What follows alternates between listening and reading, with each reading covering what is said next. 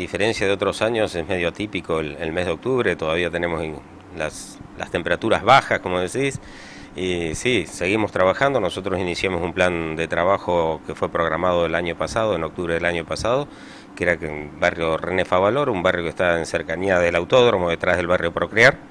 Es un barrio donde estamos haciendo las extensiones de red de gas que tienen para troncales más de 7.000 metros de cañería. Es un barrio que hoy a nivel del barrio tenemos prácticamente diría ejecutado más del 60% del, de lo que es la obra. Nos demoró un poquito el avance de la obra con respecto a lo que tiene que ver el material árido, la arena, ¿no? que en este caso la está haciendo la provisión el municipio de Río Gallegos. Hay que, a través de su cantera. Sí, hay que, esto hay que destacarlo también, la colaboración por parte de ellos hacia los vecinos. Y bueno, si hubiésemos tenido mejor provisión, un poco más dinámica vendría a ser, eh, ya prácticamente tendría que estar terminada la obra. Días pasados estuvimos a punto de inaugurar lo que era la primera etapa del barrio, que fue suspendida la inauguración por un tema de las condiciones climáticas, fue el día de la nevada, pero bueno, eh, seguir trabajando y a su vez estamos retomando obras en otros barrios, como el barrio San Benito, Bicentenario y también en el barrio Patagonia. Eh, Daniel, em, uno eh, normalmente cuando toma contacto con los vecinos y se va interiorizando de todas estas necesidades, se da cuenta también que hay otra realidad que muchas veces en el casco céntrico no se ve, que es eh, desde el hambre hasta bueno, la necesidad de, una vivienda digna, eh, muchos temas que todavía no se, van, no se solucionan lamentablemente y, no solo eso, sino que se van agravando. ¿Cómo ves este, este panorama? Bueno, bien, nosotros, a ver, el, tipo de trabajo o, o quizás la forma de trabajo nuestra es muy territorial, estamos presentes constantemente en el barrio, en este caso nosotros tenemos una presencia en todo lo que es la zona nueva emergente de, Gallegos, en lo que le llamamos la zona nueva, la zona periférica que tiene más de 35.000 familias viviendo en, la periferia, vemos las necesidades, tratamos de paliar esas necesidades a través de la gestión nuestra con respecto a los servicios del gas, eh, comenzamos un trabajo que, que se debe continuar porque es un trabajo que lleva para la demanda que había se necesita mucho más prolongación en el tiempo este, este tipo de, servicio porque se va expandiendo aún más, pero también vemos una dejadez por parte del municipio actual en lo que tiene que ver las competencias sobre ellos, en lo que tiene que ver con servicios, en esto estamos hablando falta de mantenimiento de calles, falta de veredas, que el cordón cuneta, por ejemplo, de la calle 13 fue anunciado y nunca se hizo, eh, que los temas de, cloacas en el barrio tampoco nunca se hicieron, que carece en algunos sectores de iluminación todavía al día de la fecha, que se tiene que trabajar sobre eso, y principalmente a uno lo que le preocupa es el tema del transporte público, porque hay sectores del transporte público donde no prácticamente no, hay acceso, no hay acceso. y también que, a ver, creo que también debería llevarse la cultura a los barrios, es decir, crear centros culturales. No escuché propuestas de los candidatos eh, en general sobre la cultura. Eh, digo, los candidatos a intendentes. Eh, bueno, recién me presentaste como gerente de Distrigas, pero también somos candidato a intendente. Y dentro de la propuesta nuestra está generar un centros culturales barriales, es decir, que la cultura sea amplia y que sea eh, igualitaria para todos, es decir, que todos tengan el acceso a la cultura en los barrios, hay muchos chicos que no pueden y es una realidad, no pueden por los transportes, a ver, vos sabés que le dan los boletos escolares son dos nada más, y cuando uno realiza una actividad extracurricular, es decir, que no tiene nada que ver con el colegio, con el ida y vuelta del colegio, eh, ¿cómo se traslada? Tiene que afrontar un costo y esa familia no tiene el costo para afrontar el traslado, entonces lo va privando del traslado hacia centros culturales que están aquí en el, casco viejo, decimos el casco antiguo. Por eso nosotros promovemos crear centros culturales barriales y donde la cultura esté en acceso a todos los vecinos. Eh, Daniel, también en este, en este sentido me parece eh, fundamental marcar esto, ¿no? que, haya, que haya proyectos y que se ejecuten, que realmente no queden eh, en los papeles como uno hoy tiene la posibilidad de hacer un balance, decir, bueno, el, intendente anterior me prometió esto y no lo cumplió, eh, la gestión de gobierno provincial me prometió esto y no lo cumplió, a nivel nacional una situación similar. Eh, digo, está también esto de, de, que realmente se cumpla y que no solamente quede impreso en un folleto de campaña que después prácticamente quede en la nada y desaparezca. Sí, los vecinos, a ver, lo que pedimos los vecinos son hechos concretos y realizables. no pedimos utopías, no estamos pensando en algo que sean sueños solamente a, generar, sino estamos pidiendo soluciones rápidas, inmediatas y de acción inmediata.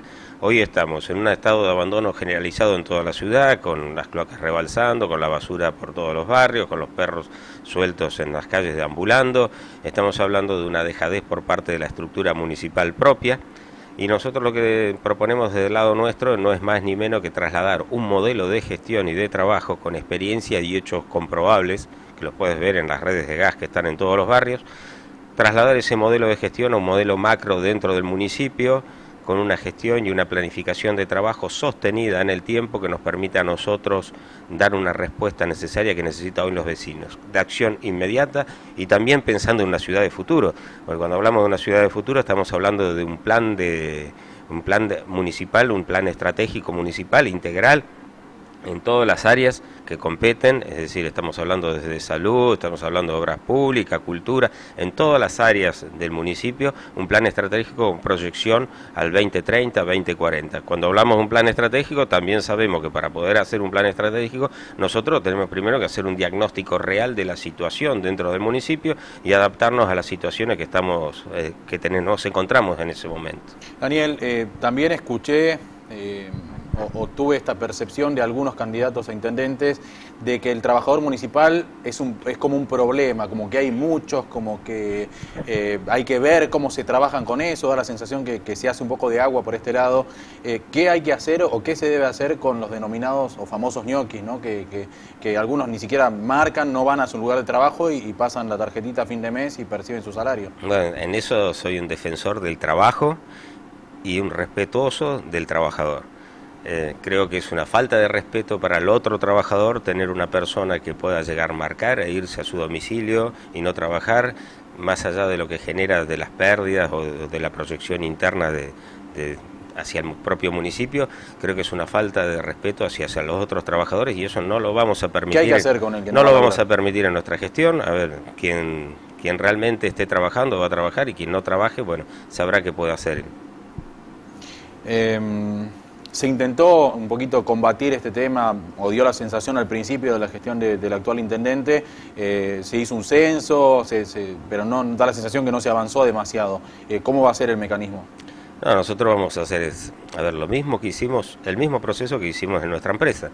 A ver, vamos a hacer, llamarles censos, llamarles identificación de las personas que están trabajando, no están trabajando, y aquellas que no están trabajando van a ser convocadas y llamadas para para ver por qué no están trabajando y en los casos eso se los va a intimar como corresponde para que se presenten a su lugar de trabajo y caso contrario, bueno, se tomarán las medidas que ya están establecidas dentro de los propios convenios colectivos de trabajo. Tema recaudación, ¿cómo se hace para sostener una estructura eh, tan grande eh, y no solo sostener, sino hacerla productiva? Bueno, la estructura tiene que ser productiva, bien dijiste. Eh, Hoy el municipio está recibiendo 187 millones de coparticipación. En meses anteriores ha recibido también desde enero 160 millones, 170, 180, es decir, un promedio de 175 millones todos los meses. Y después tiene una recaudación propia del tributo que hoy no es la que debería tener, una recaudación muy baja pero estamos hablando también que los mecanismos que se aplican para recaudar tampoco son los correctos. Entonces, en eso ¿Cuáles serían los correctos? Los correctos es tener acceso en todos los barrios a puntos de pago de impuestos, hacer un seguimiento de los impuestos, hacer las correspondientes comunicaciones e intimaciones sobre los pagos de, los impuestos que no están, eh, es decir, que, que, está debiendo, y sobre todo crear los accesos, a ver, los accesos y trabajar con la tecnología que hoy tenemos en acceso a ver, en cualquier celular, para crear medios de pago dinámicos que nos permitan a nosotros tener una mejor recaudación y por sobre todo tener una buena gestión municipal. Porque cuando hablamos de sobre todo tener una buena gestión municipal, hablamos de la motivación del propio vecino de pagar su tributo, de pagar su impuesto y verlo reflejado en las obras públicas, verlo reflejado en lo que tiene que ver los servicios, que hoy no lo está viendo. Y eso creo que genera una desmotivación también del propio vecino. Hay cierto descreimiento sobre cierta clase política. Eh, digo, se notó en el voto en blanco en la última elección de, en la elección primaria, donde bueno, el nivel para el caso de gobernador fue altísimo, creo que más de 10.000 votos en blanco. ¿Cómo hay que hacer para que, no solo para que el vecino vaya a votar, porque seguramente va a haber una excelente participación, pero digo, para generar esta motivación en el elector de, de bueno, ir y confiar en algún tipo de proyectos? Bueno, me, voy a ver reflejado como vamos a cambiar un juego, cambio de roles, ¿no? Eh, me veo como vecino. Eh, para motivarme a mí, un candidato realmente tiene que tener una credibilidad sobre lo que está diciendo. A ver, decir que vamos a hacer, todos podemos decir, pero realmente hay que ver quiénes tienen la credibilidad de poder hacer y cumplir con lo que están haciendo. En eso yo creo que hoy tenés un instrumento muy, muy bueno que son los celulares, el Google, que te permite a vos mirar un candidato, googlearlo y decir, a ver, este candidato qué hizo, qué no hizo durante toda su gestión. Y como decimos siempre, cuando vas a buscar un empleo, tener un currículum, es decir, necesitamos el currículum del candidato que nos diga quién realmente eh, hace lo que va o va a hacer lo que dice. a quién va a hacer lo que dice o quién realmente está diciendo y no va a llegar a, cumplir cuando esté en gestión. Si hablamos de, preparación o de currículum, ¿usted tiene formación, digo, adecuada para acceder a este tipo de cargos?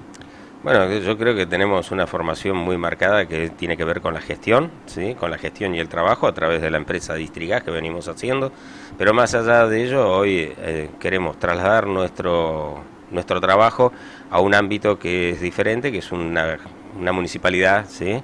Y en eso yo en el año 2014 realicé un diplomado universitario que tiene que ver con un diplomado en gestión municipal y también realizamos otro en políticas públicas que nos ha dado o nos brinda las herramientas necesarias como para tener una visión, como le decimos, más holística, una visión más amplia y, y tratar de crear esa sinergia necesaria para poder llevar esta ciudad adelante. ¿Y equipo para formar esta gestión?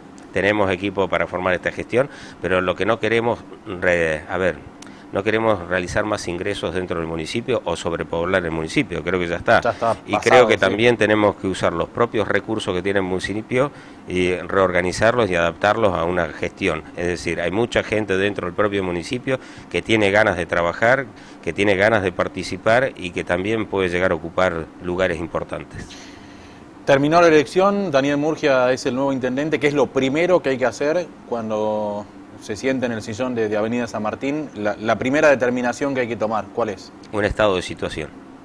Es decir, sentarnos en el municipio y tomar un estado de situación real, ¿sí? un análisis real de cómo está el, panorama interno, es como cualquier lugar que vos te haces cargo, tenés que ver cuál es la realidad, no lo que te han dicho, sino cuál es la realidad y adaptar el recurso necesario para brindar soluciones. Arma, generar un plan eh, a corto plazo, un plan operativo para poder dar respuesta a los vecinos y poner en marcha todas esas áreas operativas que hoy no están en funcionamiento. ¿Cómo debe darse una transición con el actual intendente? Eh, me viene un poquito a, la memoria el acto en el barrio San Benito cuando Pablo Grasso le entrega la gestión a, Roberto Jubetich en los mismos discursos un entrecruce, que si había 12 millones, que si no había, que si había deudas, que si había maquinaria, eh, que la maquinaria no estaba. Bueno, ¿cómo debe ser esta transición con el actual intendente? Bueno, yo creo que tiene que ser sincera. A ver, el, actual intendente tiene que sincerarse sobre su, su, actual situación o cómo va a entregar su municipio y en función de ello ponernos a trabajar con un ambiente de diálogo, siempre con un ambiente de diálogo para tratar de sacar la ciudad, porque a ver, todo tipo de discordia, todo tipo de disparidad que pueda haber, al único perjudicado es el vecino hoy y nosotros lo que realmente queremos es que el vecino hoy tenga una mejor calidad de vida y no siga pisando, como decimos, pisando o rompiendo trenes delanteros en la calle. ¿Carta orgánica? ¿Debe hacerse, no debe hacerse? Está en la agenda, la carta orgánica sí, para nosotros está en la agenda, tiene que ver mucho con los trámites administrativos también. Hoy estamos con una ley de, de administración, que es la ley del provincial, que sabemos de la administración pública, que quizás no es lo que necesita una empresa municipal, como decimos, porque es una empresa de servicio que necesita respuestas rápidas para todo lo que tiene que ver las gestiones y, en eso, a ver, nosotros vemos un circuito administrativo que a veces es muy lento, estamos con técnicos y especialistas en el tema trabajando sobre una elaboración de un sistema de diligenciamiento sobre más celeridad en los trámites administrativos y en eso nosotros hacemos mucho hincapié y sí hace falta una carta orgánica, ¿por qué no? Em, ley de lemas, eh, todavía vigente, polémica, cuestionada por algunos, aceptada y defendida férreamente por otros. Eh, ¿Qué, le parece a usted esta herramienta que bueno está, está como regla de juego para esta elección? Bueno, hoy estamos, estamos dentro de ese juego y, quienes criticaban la ley de lema son los que más las usan, ¿sí? la usaron mucho más en las elecciones, es decir, es un poquito, eh, diríamos, irónico la crítica porque la criticás, por eso es el que más la usás. Sería un tema a, tratar políticamente, internamente y con la estructura de los partidos, a ver qué determinación toman sobre eso. Yo creo que la ley de lemas, a, a nivel personal mío, eh, más allá de todo de la participación que puede generar dentro de, los candidatos, yo creo que los vecinos siempre votan al candidato que más los represente y dentro de una ley de lemas que hoy estamos conformando, el voto lo van a direccionar al candidato que más lo represente. Eh, lamentablemente en la elección pasada, el que sacó más votos, no digo lamentablemente por una cuestión de legitimidad, eh, el más votado no fue quien hoy nos gobierna y, me parece que, bueno, se vieron un poquito los, resultados. ¿Cree que, se, dio de esta manera? ¿Se dio así? Y sí, la verdad sí. A ver, eh, sabemos que el más votado fue otro candidato. Eh, está bien, ganó una ley de lemas, por eso estamos hablando, que ellos usaron la ley de lema, ganaron con la ley de lema, pero tampoco brindaron a la comunidad un gobierno como debían brindar y hoy vuelven a presentarse bajo las mismas condiciones y bajo el mismo sistema. Daniel, em, eh, da la sensación que cuando uno también escucha algunos proyectos de, los candidatos, se piensa en el casco céntrico, se piensa en la avenida Kirchner, en la San Martín y algunos alrededores, la costanera, con algunas obras. Eh, el resto de los barrios, eh, bueno, zona donde hoy está Distrigas trabajando, pero digo, también hay sectores mucho más alejados eh, que no tienen absolutamente ningún tipo de cobertura, que están recién incluidos en el eje urbano. Eh, ¿Cuál es el plan para estos sectores? Bueno, mira, nosotros estuvimos, el domingo pasado estuve trabajando en conjunto con los vecinos del barrio 22 de septiembre por una proyección de la red de gas para el barrio, eh, que ya estamos avanzando en el proyecto de, cálculo de cañería. Tiene una limitación con el tema de las mensuras, pero bueno, ya estamos trabajando sobre eso también.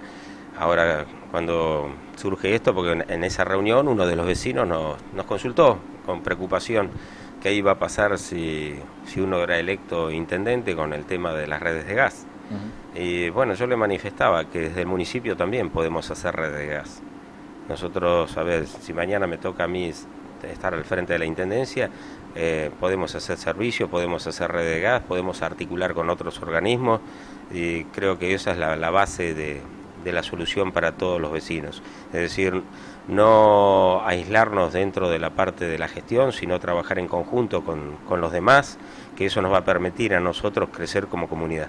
Daniel, eh, no sé si queda algo más para agregar. Nosotros desde bueno, nuestro lado agradecerle la, presencia, haber podido charlar un poquito sobre el trabajo que se hace en la empresa y bueno, la, proyección hacia adelante.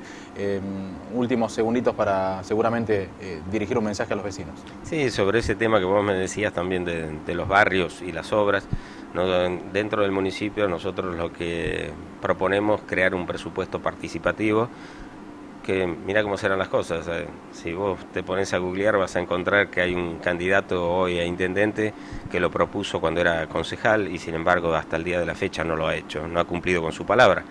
Pero bueno, nosotros queremos hacer un presupuesto participativo donde cierta parte del presupuesto se destine con la voluntad de los propios vecinos, de las juntas vecinales que están trabajando muy bien, articular con ellos y que cierta parte del presupuesto tomen decisión los propios vecinos en qué obra quieren para su barrio.